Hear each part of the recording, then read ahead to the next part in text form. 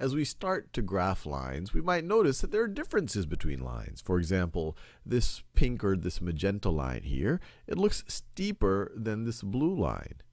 And what we'll see is this notion of steepness, how steep a line is, how quickly does it increase or how quickly does it decrease, is a really useful idea in mathematics. So ideally, we'd be able to put assign a number to each of these lines or to any line that describes how steep it is, how, how quickly does it increase or decrease.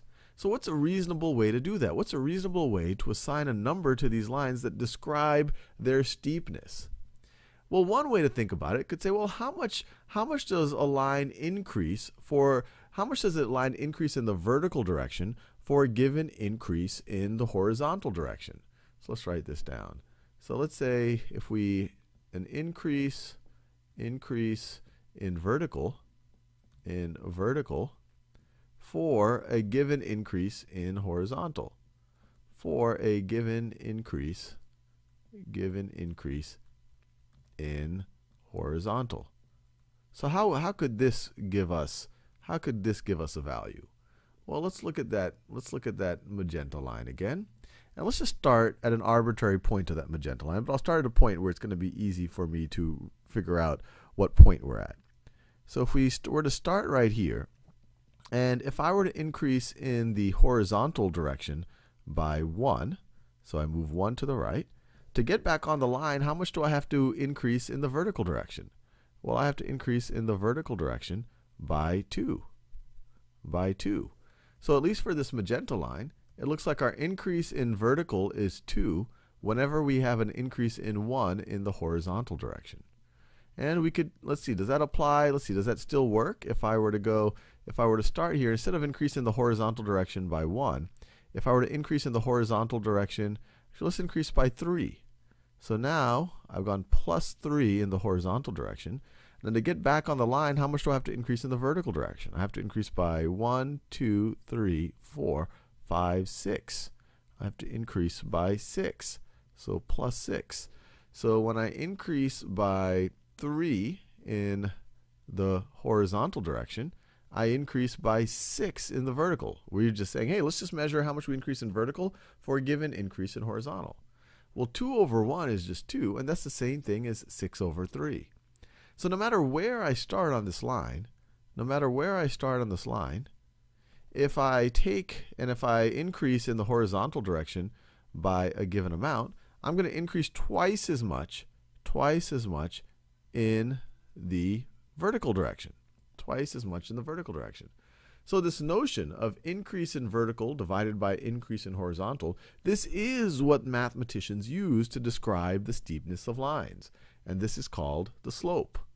So this is called the slope of a line.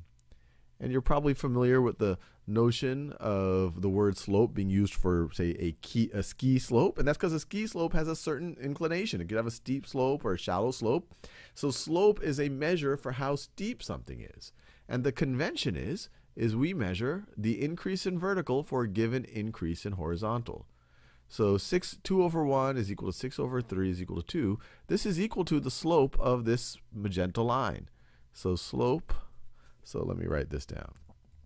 So this slope right over here, the slope of that line is going to be equal to 2.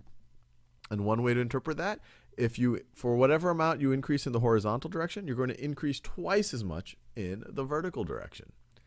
Now, what about this blue line here? What would be the slope of the blue line? Well, let me rewrite another way that you'll, you'll typically see the definition of slope. And this is just the convention that mathematicians have defined for slope, but it's a, it's a valuable one. It's what is our change in vertical for a given change in horizontal?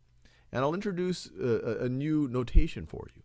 So change in vertical, and in this coordinate, it's going to be the vertical is our y coordinate divided by our change in horizontal. And x is our horizontal coordinate in this in this x in this coordinate plane right over here. And you might say, wait, wait, wait, you said change in, but then you drew this triangle. Well, this triangle, this is the Greek letter delta. This is the Greek letter delta. And it's a math symbol used to represent change in. So that's delta, delta.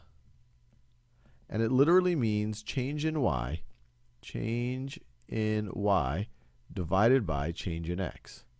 Change in x. So if we want to find the slope of the blue line, we just have to say, well, how much does y change for given change in x? So the slope of the blue line. So let's see. Let's see. Actually, let me do this. Let me do it this way. Let me have a, when if I, let's just start at some point here. And let's say if my x changes by 2, so my delta x is equal to positive 2, what's my delta y going to be? What's going to be my change in y?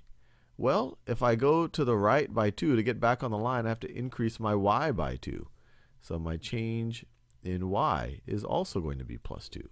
So the slope of this blue line, the slope of the blue line, which is change in y over change in x, we just saw that when our change in x is positive 2, our change in y is also positive 2. So our slope is 2 divided by 2, which is equal to 1, which tells us however much we increase in x, we're going to increase that same amount in y. And you see that. You increase 1 in x, you increase 1 in y. Increase 1 in x, increase 1 in y. From any point on the line, that's going to be true. You increase 3 in x, you're going to increase 3 in y. It's actually true the other way. If you decrease 1 in x, you're going to decrease 1 in y. If you decrease 2 in x, you're going to decrease 2 in y. And that makes sense from, from the, the math of it as well. Because if your change in x is negative 2, that's what we did right over here. We cha our change in x was negative 2, we went 2 back. Then your change in y is going to be negative 2 as well. Your change in y is going to be negative 2. And negative 2 divided by negative 2 is positive 1 which is your slope again.